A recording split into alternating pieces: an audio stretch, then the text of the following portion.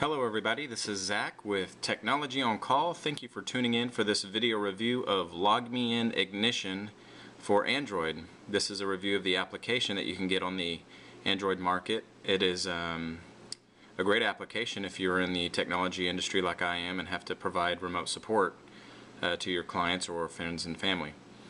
Um, LogMeIn Ignition is an application from LogMeIn. It's a um, $29.99 from the market. It's a one-time cost. You don't have to pay a monthly recurring fee or anything like that. And I actually got it on my Android phone first, and when I got my Motorola Xoom, it's tied to my account, so I automatically got it on the Xoom. Um, we'll go ahead and launch the application. This is a great application. I'm so excited that they um, provide it for, or got it out for the, the Xoom. I knew it was going to come. It was just a matter of time. Um, I'll go ahead and list some of the benefits of having uh, LogMeIn Ignition over some of the other remote desktop applications. Um, one of the things that's great about it is it works with your existing LogMeIn account. So if you're already familiar with LogMeIn and you already have an account set up or multiple accounts, LogMeIn Ignition works with it. Or if you have friends and family that use LogMeIn, you can log in with their information and log into their computers remotely just uh, by using this application. Another one of the uh, great benefits is um, that there's no router configuration. You don't have to set up port forwarding or anything like that. There's no, um, aside from having LogMeIn installed on the remote computer, you don't have to have anything else installed. Um, we'll go ahead and uh, this is my default group right here of the, of the computers I'm, I'm currently viewing for the account that I'm logged into.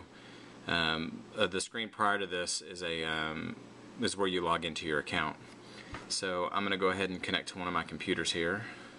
Okay, this is the first screen you'll see after you've logged into the selected computer you want to. It gives you um, some quick hints, um, and I'll go ahead and read these for you. Um, pinch to zoom in and out, uh, one finger to pan the screen or to move the mouse. So there's two ways that you can work this, and um, I'll show you those. Uh, single taps are single clicks, double taps are double clicks, two finger taps are right clicks, uh, double tap and slide to drag items, uh, two fingers is like the scroll wheel, uh, right click activate right mouse mode on the toolbar which is down here.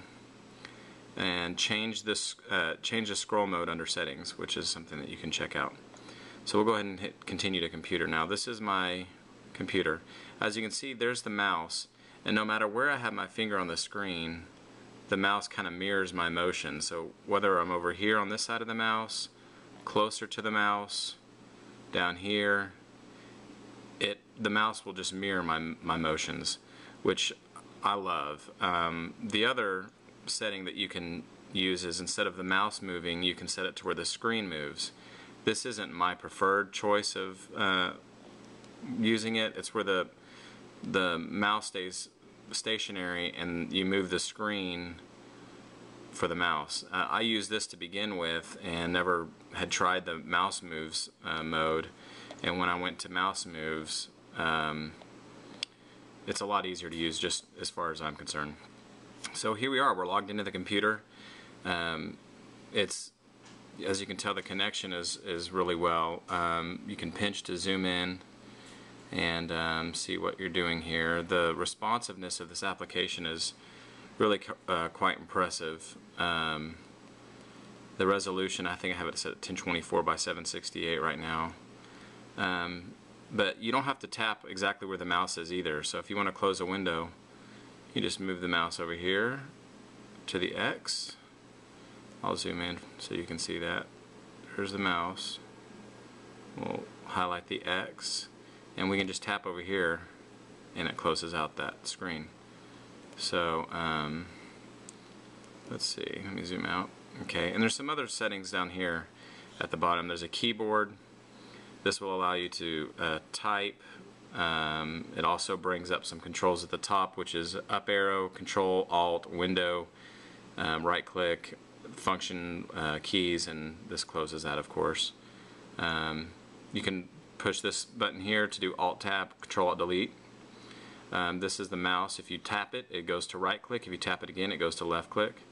This is a quick zoom function. If you've used the application for Android devices, for Android phones, you're familiar with that. Um, this is your pan or zoom bar if you prefer to have just a bar over here to zoom with. Um,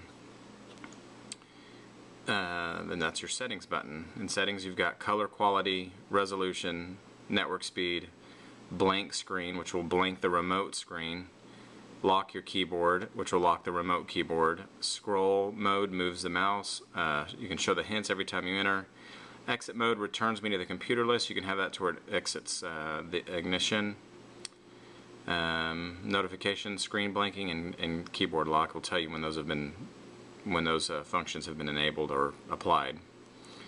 Um, so that's really all there is to it. Um, this doesn't have, you know, I'm using a free version, so it's not like I can share files or listen to the remote sounds or anything like that. But um, I haven't tried it out with a pro version yet.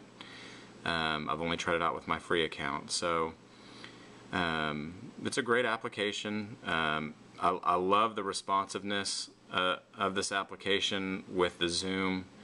It's uh, very fluid. Um, the screen moves very nicely. It's never crashed on me. Um, it runs like they've had this application out for a year or more. So I'm very impressed with it. I highly recommend it. And at $29.99 one time, the value that you get out of this is, um, in my opinion, one of the best out there. So I hope you guys enjoy. Well, that concludes this uh, review of LogMeIn Ignition. If you guys enjoy this video, please subscribe to my channel. I'll be doing a lot more reviews of the Motorola Xoom and applications for it. Um, I did this uh, review for somebody on the channel who actually requested it. So if you guys have an application that I have or something that's free um, or even something that's not too expensive, I'd be happy to review it for you. Just please subscribe to our channel. Stay tuned for more videos and thank you for watching. Talk to you soon. Bye-bye.